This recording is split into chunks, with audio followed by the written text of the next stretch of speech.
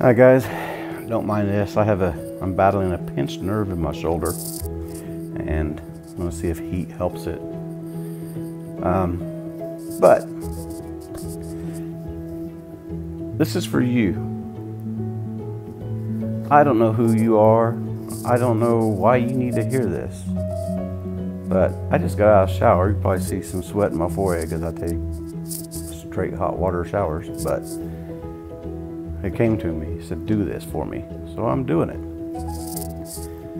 Um, I don't know why you need to hear it. I don't know who it is. Maybe just one person. It might be a, a hundred. I don't know. But here goes. This is my, let me just say, this is my story, okay? When I was a kid, we would go to church for special events, okay?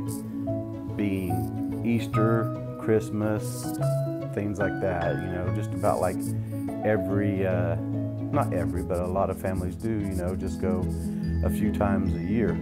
Well, um, every time we would go, and I'm talking, I'm a kid, you know, five, six, seven, eight, nine, ten, all the way through teenage years. Every time we go, the preacher would say, "Hey, man, Jesus is coming back soon. Um, it, what he wants from you is repentance, you know, to repent and to ask for forgiveness of your sins and uh, ask him into your heart as your Savior." Well, for some reason, I don't know the reason, but for some reason, every time they said that, I did it.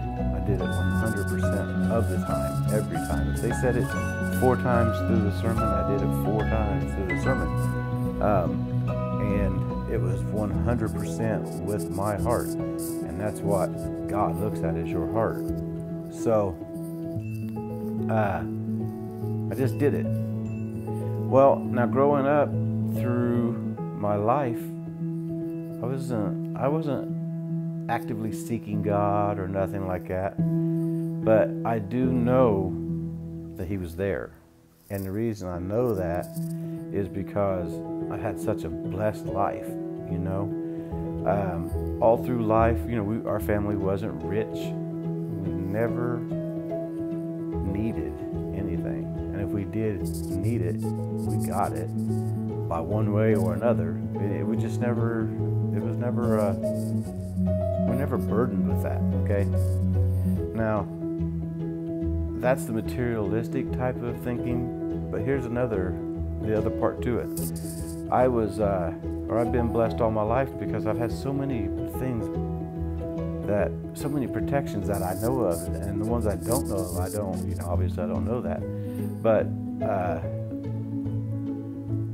I've, I've done stuff in my life is like, wow, man, how'd that happen? I can't even explain it. That I was told, put on my heart, is for another video at some other time.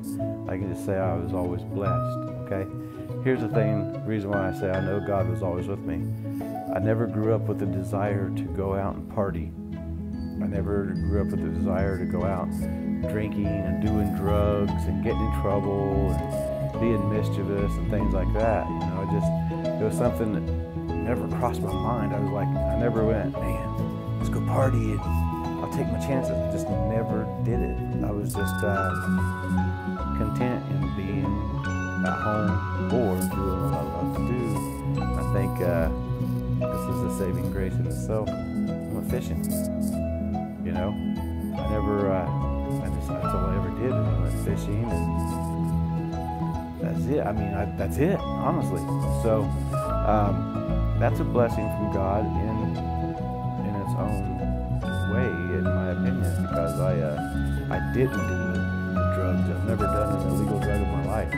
Never tried pot. Never done anything. You know, um, I was just put on my heart to tell you one thing I did do that was really close.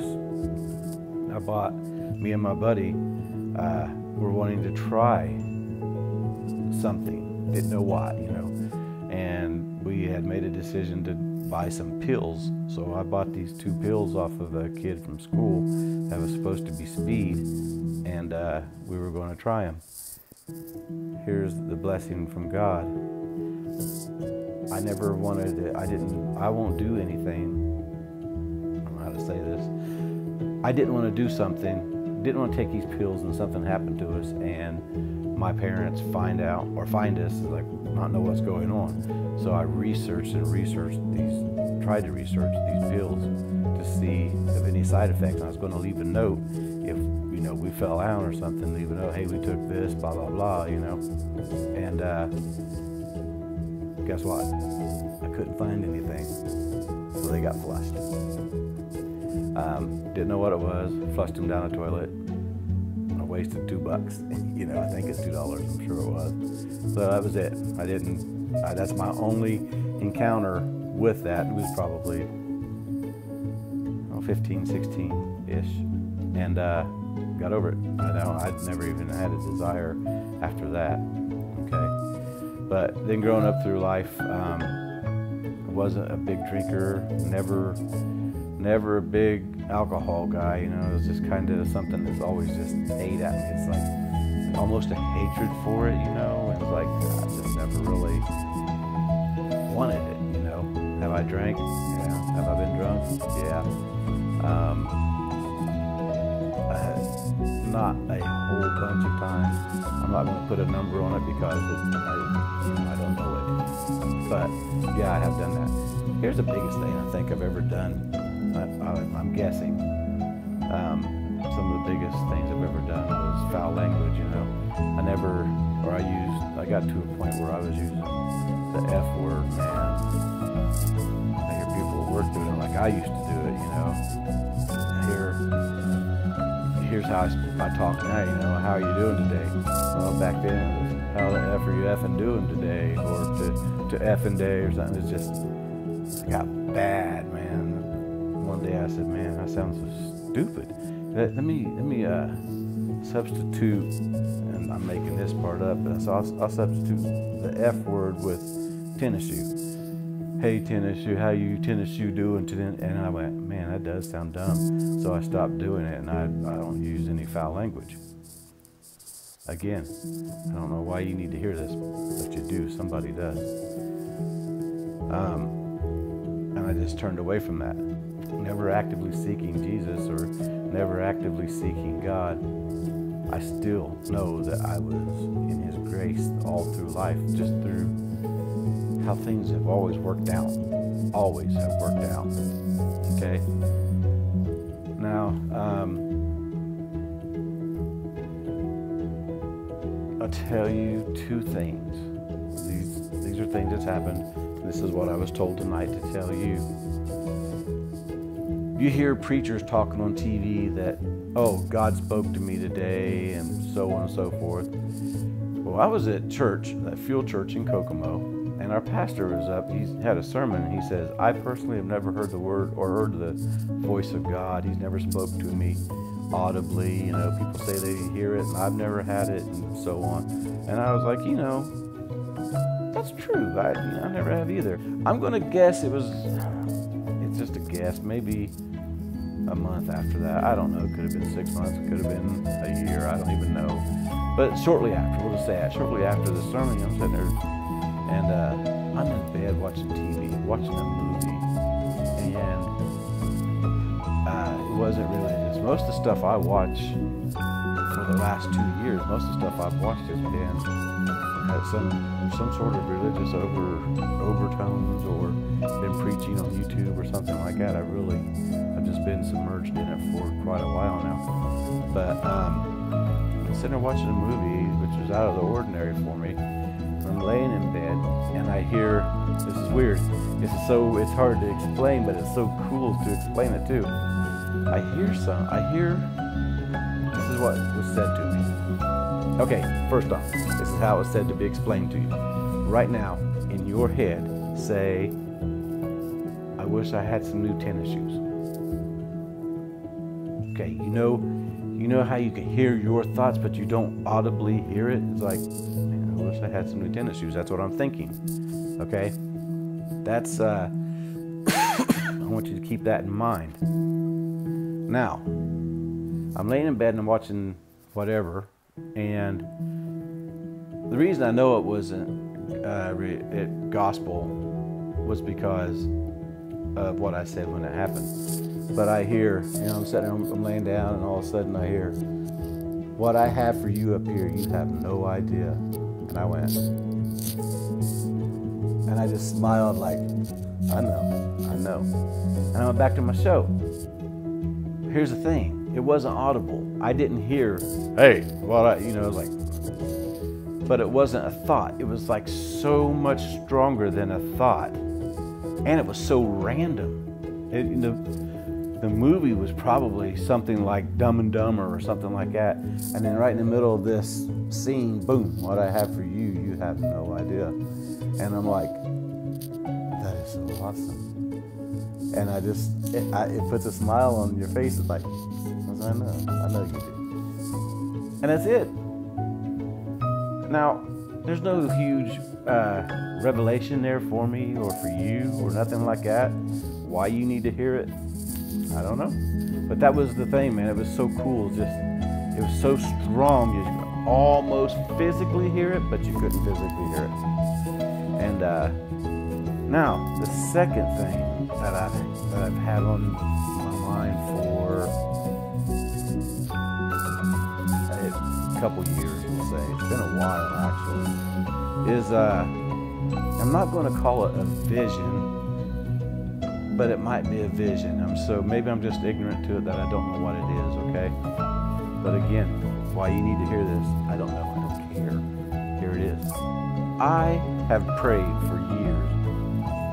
Jesus, let me be in your army, because when Jesus comes back to earth for the second coming, uh, he's going to bring in the army of the saints. And I have prayed and I have asked, man, let me let me just let me be in the army because I know if I'm in that army, I've made it, you know. But on top of that, I mean, it's, you know, let's go. You want to take on Jesus? I won't be there with him. And uh, so I've prayed that prayer so much. I've got this. I'm I'm going to call it a vision again it's not a physical vision where I can see it, but it's it's more than a thought. It's like, man, I see it as plain as day, and now it's been on my mind for probably the last week, almost constantly. I told Austin, my son, about it today, and then in the shower, I was, you know, I was just taking a shower, and I was told, hey, tell this. So I'm telling you. This vision is when Jesus comes back, there's going to be a millennial reign, and at the end of that millennial reign, this is biblical, it's not from my vision, but at the end of this millennial reign will be the last great uh, rebellion. Okay, the entire world will come up against Jesus in this rebellion to kill him. Well, that's the scene I have. That's a vision, if you will, uh, for lack of better terms. That's the scene in my head, okay? Scene is I'm standing there looking out from an elevated position, and as far left as I can see, as far right as I can see, and as far out as I can see, people.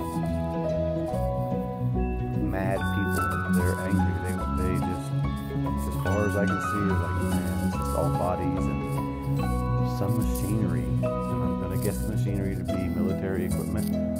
Can't say for sure, but it's there. It's, I see this as far as I can see. I look, and I'm like two or three rows back in this army. Okay I look to my left, and as far as I can see this way, I don't really look right in this vision. So I don't. I know there's some sun beside me, but I don't know. I don't look how far. My focus is left, and you'll see why. I see all these white beings, and it's not white like white people. It's like a light. It's a type of light. Uh, but they're in rows like a military uh, lineup. And out in front, is one. I'm going to get, probably going to get emotional because, man, it's awesome. But out in front is one. And you know who that one is It's Jesus, man. And I look at this. Here's the thing about it it's a white light, and you see the light, it's, you see it standing there, but there's no body. It's not a defined body. But it's a, uh, you know what it is. Because I see him turn his head and he looks to the left, he looks back. And then um, he looks out front over these people and he looks to the right and it looks at me, it being him, Jesus, looks at me like, You ready? Yeah, I'm ready, baby. Let's go. And I know I've made it, but then on top of that, man, it's that's the end, guys. It's the end of everything. It's coming, and I know a lot of people don't believe that. And uh, after he looks at me, and I look like, yes, sir, let's do it. He just looks out front, and that's the end of it. That's the end of the vision, because I know what comes after that. Uh, through Revelation, in the, in the book of Revelation, what comes after that is God down the wrath of God, but fire and brimstone from heaven, and uh, the entire population of the world is gone. Gone. Where you go to? Not coming with us. We've already made it, you know. But uh, again, you know, that's what I've I've been asked to show you or to tell you. These things that I've seen and done. Again, I don't know why I'm telling you. Maybe it's, I mean, you'll know. When you hear it, you'll know. Um, now, one more point that's been put on me to tell you is this. When someone talks to you about the Bible, and let's just say, let's put me, when I talk to you about the Bible, okay? Um, you got to understand when Jesus said on the Sermon of the Mount, making before he went to the Sermon on the Mount, he said, I'm going to say things that not everyone will understand. Not everyone will get this. Some will, some won't. So, you know, that's that's how it, how the gospel works. Does that mean it's not for everybody? No. It doesn't mean that. It just says you have a certain walk. Here's what's been put on my mind, okay? On my heart. You might work in the technology field. Okay? You're in the technology field and you say, hey man, this is how this is the way you want to go. You want to go with uh, fiber optics because fiber optics is fast, it's this, it's that. I'm over here, I'm in the field of factory worker, and I'm like, all right, that's fine. I don't know what you mean, I don't know what it means. If you say to do that, that's fine. I, I might do it, I might not do it. You know what I mean? It's just, it's it, whatever is important to me. But you have inside knowledge of, hey dude, go with fiber optics over hardwired because it's faster, it's cheaper, it's quicker, it's uh, less expensive, it's, you know, you got all these points that you know about uh, fiber optics or technology. And I don't know that, so I just, I'm, I, mean, I do what I do. That's the gospel. Okay?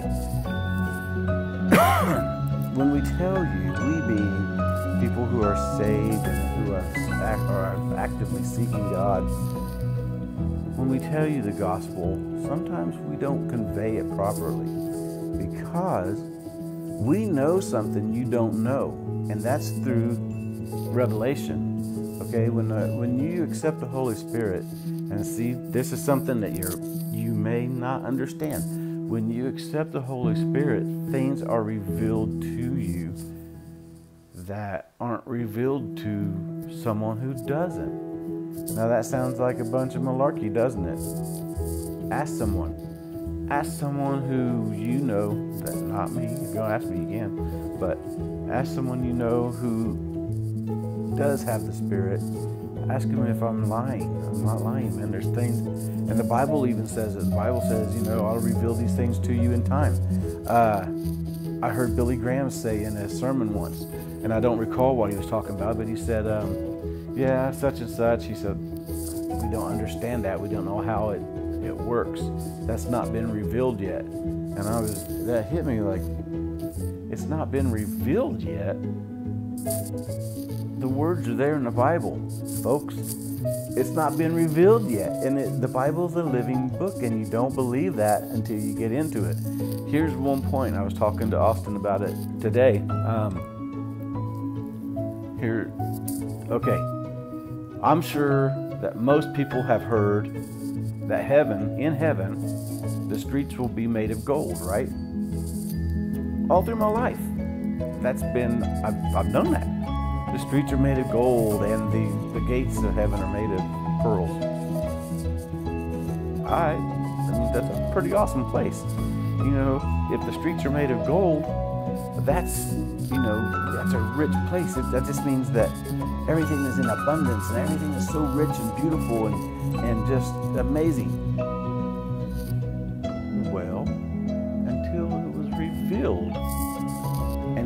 Recently it was revealed to me that what you see on earth as being one of the most valuable substances, which is gold, okay? If I could offer everyone a thousand pounds of gold, there's not a soul on earth that wouldn't take it. Okay, that's pretty much a top dog. I mean, think about it. Everybody says, "Oh, invest in gold, invest in silver, blah blah blah." Well, pretty valuable, right? What was revealed to me about heaven and the streets of gold is, yeah, what you think is so valuable, we walk on. That's what you'll be walking on in heaven. It's nothing. That, the streets will be made of gold. If you walk down, if you came down the street that I live on and it was made of gold, it wouldn't last a, an hour. People will be out chiseling it up, taking it, stealing it. In heaven, man, that's just what you walk on. It's nothing. Again, God told me in in my one time in my life that He spoke to me, "What I have for you up here, you have no idea." and now the revelation has come that the streets are gold. Well, I knew that, God. You don't understand, though. The streets are gold. They, and that's what the gospel is. That revelation, things will be revealed to you as you get in and you start actively seeking God. Things will be revealed that you'll go, oh man, I had no, I really, I didn't know that's what that meant. Um, just like I just said, there's going to be a, uh, a millennial reign. There's so many things in the Bible that sound so fictitious.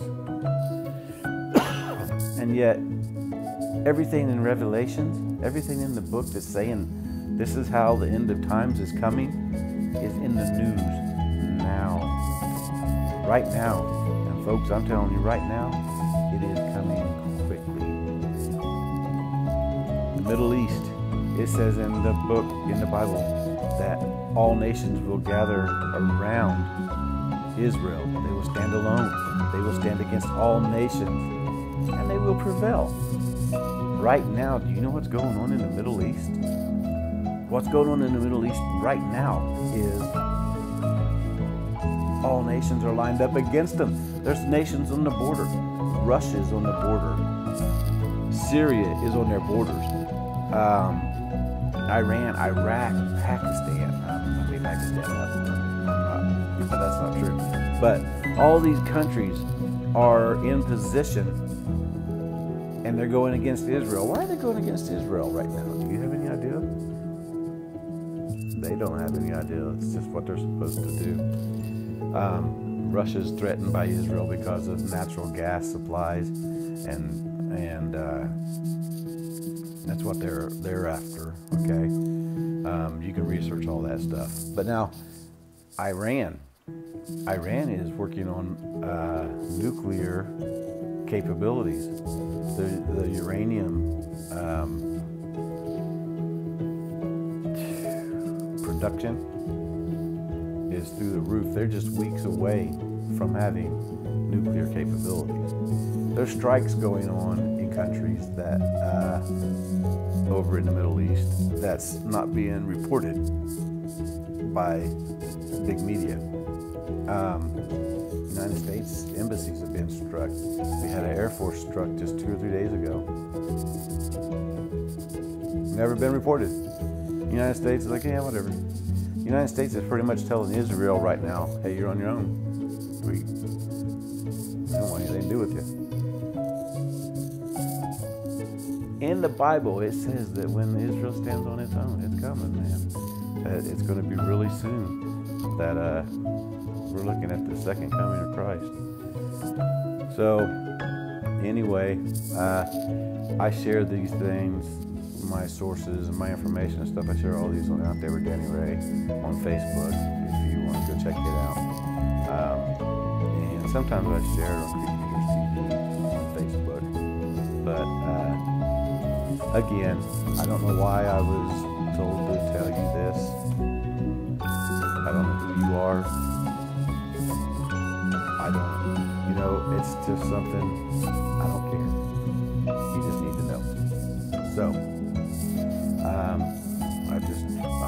Say a prayer with you, over you, for you, by you,